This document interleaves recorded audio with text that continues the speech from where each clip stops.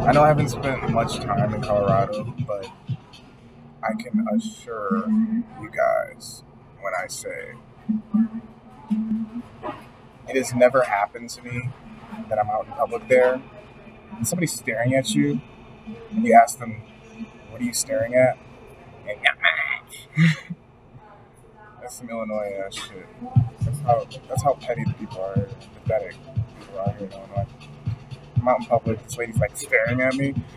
I'm like, what are you looking at?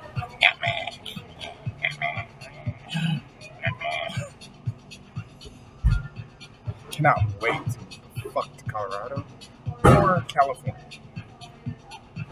That's the shit.